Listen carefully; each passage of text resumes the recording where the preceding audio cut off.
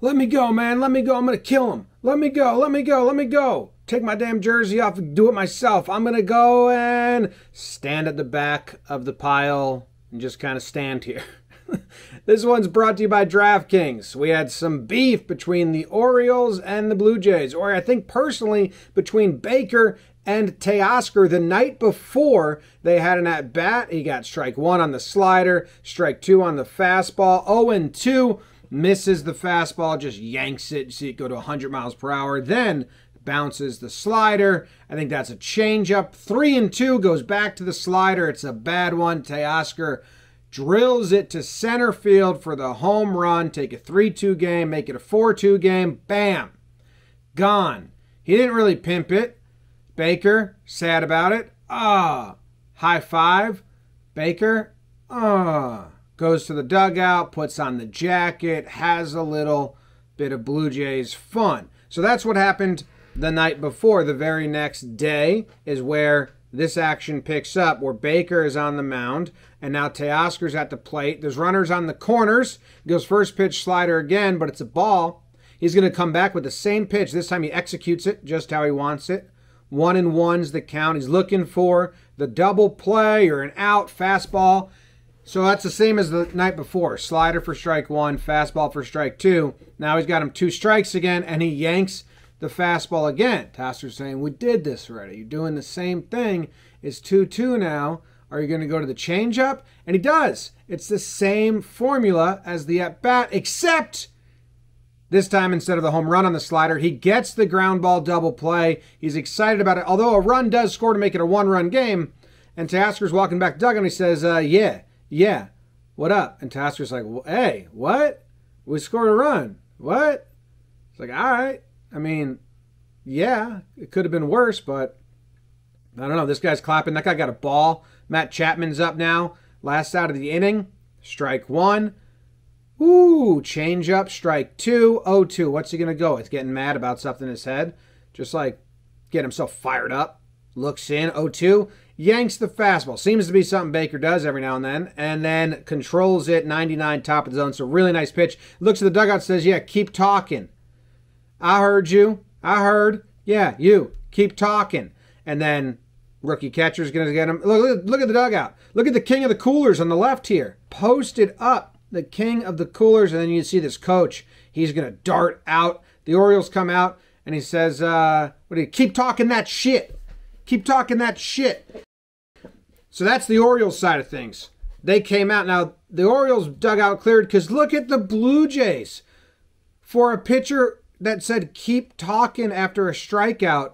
There's more stuff going on here, but I mean, look how many Blue Jays got so upset by this. The manager runs out in front of everyone, and everyone's running out. Even Kirk on the top looks like he's got a head on a fake body. Oh my God, look at Kirk's head on his body here. That looks like one of those those old like greeting cards you would send your whatever. Uh, move on.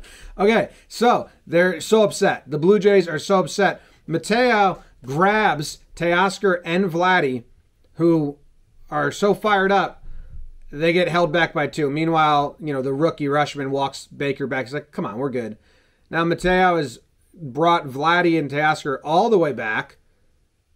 They're basically just want to be held back more than go forward at this point. But uh, then they realize they're so far back, they're like, shit, this is kind of a bad look. We got to get more forward and then they're going to act like crazy. We're going, we're going, we're going, just to stay at the back of the pile and do nothing. And then Odor comes and he's like, nah, get back. Now Springer's pushing him back. I mean, he ditched his jersey to sprint out there. Vladdy, what are you doing? You're not really mad. Otherwise, you'd be out there. You're just trying to project madness. I don't. I don't know. All of this is nothing. Baker's in the dugout looking at his pitches. He's like, damn, I didn't think I didn't think that was gonna be that.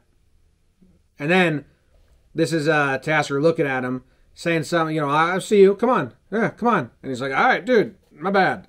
Shit, sorry. Didn't know all that was gonna happen. Then they got to clean up the field because look at there's just too many people standing around. We get some quotes after the fact that maybe give more insight. Not really. Baker wipes his face off. He's just chilling. Uh, Teoscar, he's got to find his jersey. Odor finds his hat, puts it back on, got his jersey. He's going to get dressed, wiping his face off again, worked up a sweat. Vladdy trying to figure it out. Ump's trying to figure it out. Like, what was all that? And then in the post game, we're going to get some quotes from both managers and both players. And it doesn't really shed light on it, but kind of. I think Bake uh, pitches with a lot of intensity. Anything is pumped out. He is a big strikeout, and sometimes he lets it uh, lets it out. So classic manager response, not going to throw anyone under the bus, just say, hey, pitches with a lot of emotion. It's competition at the highest level. It happens. Blue Jays manager goes a different route. I didn't understand why Bryan Baker was looking into our dugout after giving up a run on back-to-back days. That guy's bad. He gives up runs. He's not allowed to talk shit. I don't think it was a Teo thing. I think it was Baker looking into our dugout like he has every time he's pitched against us since we um, he since he wasn't part of our team. Since we uh, traded him, since we uh, cut him, since uh, since he wasn't part of our team anymore. And I think our team reacted. Um, not quite sure. You know, I know emotions run high for a guy that used to play for another team. So I think our guys were standing up for our own team. Um, we had no problem with anything he was doing, and we're going about our business. Really? Didn't understand why Bryan Baker was looking into our dugout after giving up a run on back to back days. Baker looking into our dugout like he has every time he's pitched against us, and we had no problem with anything he was doing. Sounds like you've kind of cataloged it as a problem. And we're going about our business. Now let's go to the players. Just a just a disagreement, um, just something that got taken too far, um, and uh, probably shouldn't have come to that. But uh, yeah, it was just a, a disagreement with with uh, Teoscar, who I've, I've played with before, um, and then uh, yeah, just came a little, just went a little bit too far.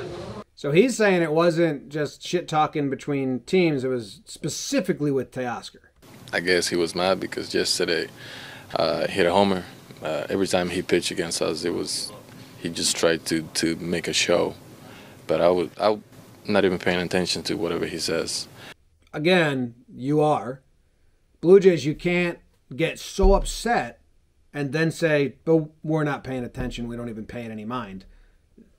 20 of you jump the railing at the same time for a guy going like this. You're paying attention and you mind and it was it was nothing towards their team or anything. It was just it was just kind of letting him know that I know that he's you know talking and pointing at me and saying that I, that I was talking too much, but I wasn't talking. I wasn't saying anything. Were they yelling at you during the inning? No, I don't think so. No, I, I like I said, I was was part of that organization. I know some of those guys. Um, I have no problems with them. Didn't hear anything negative at all. Just uh, just a personal problem that. Uh, I probably should have handled a different way, but just kind of came out. And then he started walking, and I just reacted. You surprised it ended up being, you know, bringing everybody out? Uh, yeah, a little bit. Um, I, especially just knowing, just knowing Teoscar, um, I didn't really, you know, want to provoke him to run and show, you know, try to fight at all. Um, seemed like he kind of wanted to do that, but, uh, you know, it's really just a respect thing. And just me just letting him know that, that I know that he's talking. So that's that's really about it. It's really weird because he. I mean, we saw Teoscar didn't say anything during the game on this incident, and then Baker admits, yeah, they weren't talking and nothing was being said during the game. My best guess, I could be completely wrong here, is that Teoscar was talking shit eh, off the field in like a group chat or something after hitting the home run, and that got back to Baker, and he's like, I just wanted to let him know that I heard what he said. And just me just letting him know that, that I know that he's talking. So that's that's really about it. It seems like they was off the field talking, and the Blue Jays are saying no one's talking on. I have no idea. None of this adds up.